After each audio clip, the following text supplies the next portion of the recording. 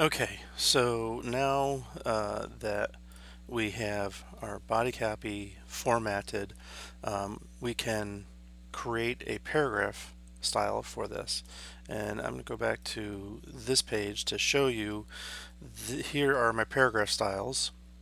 And you can see I have a paragraph style for a pull quote, a pull quote attribution, a headline, a deckhead, a byline, body copy sidebar title, sidebar copy, photo credit, caption, caption white if the caption's on something dark, an author shirt tail, uh, a header, uh, a folio, and so on and so forth.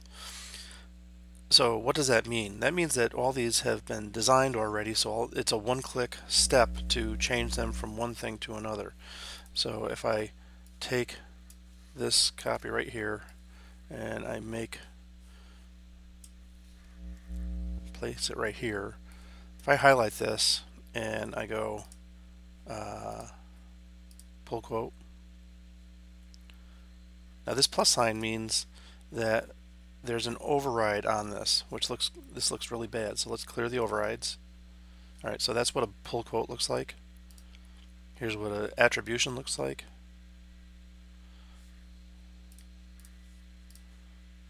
Pull quote, attribution headline.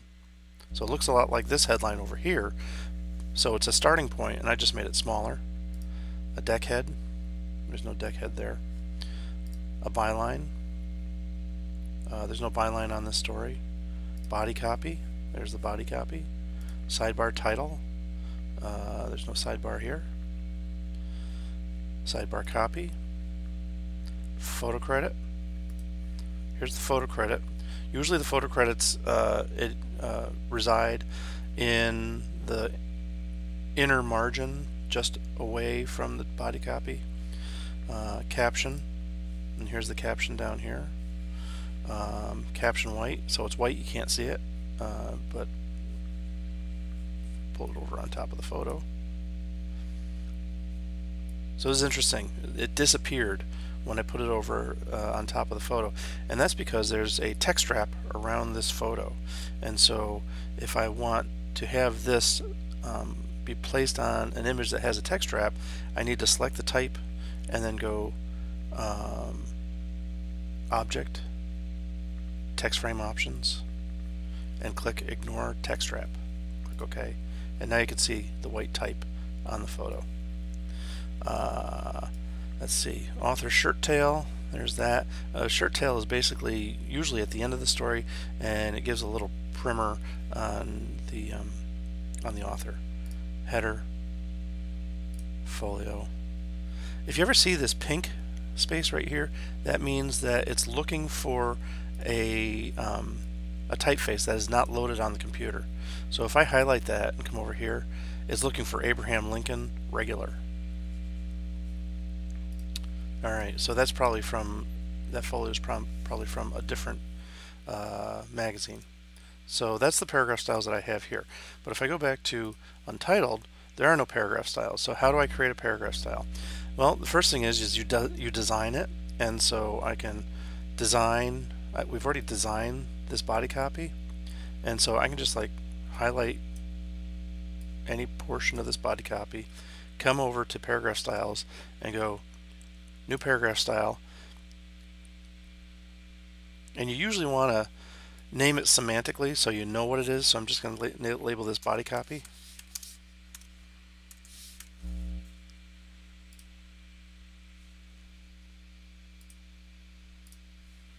And here's body copy.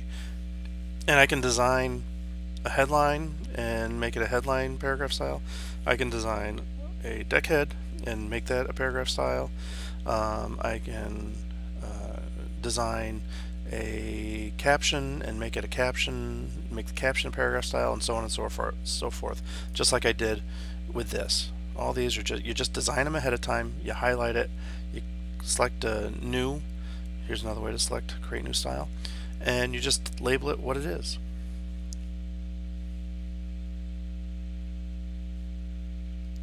So you can see there's a drop cap right here and let's just show you how to do a drop cap. If I go back into here and I highlight this W, I can go to paragraph styles and this one right here is drop cap number of lines zero.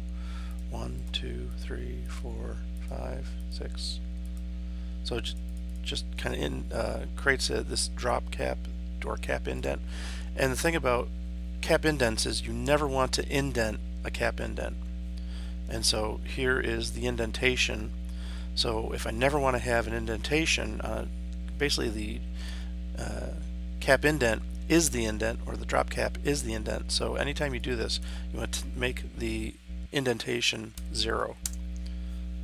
The other thing is you can uh, change this to any typeface that you want it doesn't have to be the typeface of the body copy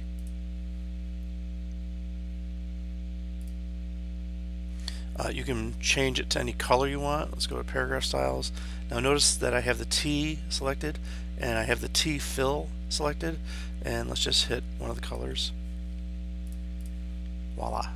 So there's a drop cap, cap indent. That's how you change um, color for any type. Like if I have this right here and I need to change that to a different color, I could do that as well. The other thing is character styles. If I go back to um, this and I go to character styles, notice that I have a drop cap style, which is basically says whenever I have a drop cap, it's going to be this typeface. Um, and I also have a body copy bold style. And so sometimes um, there are needs there are needs to have uh, bold words in body copy. So if I come down here and I kind of come in here and right down here they have the website and they may want to make that bold so I'm gonna select that and change it to a typeface that I want and make it bold now the thing is um, this is the same point size as the body copy but it looks a lot bigger that's because usually sans serif typefaces have a larger X height, therefore they look bigger than they actually are. So I'm going to downsize this a point and make it a little bit smaller. And then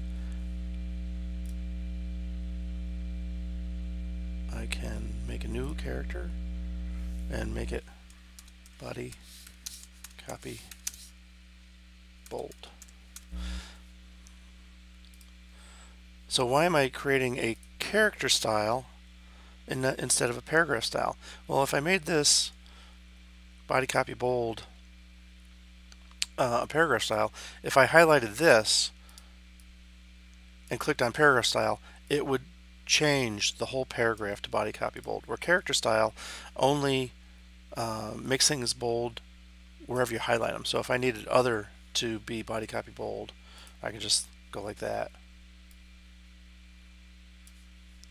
and like that. Okay? Character styles.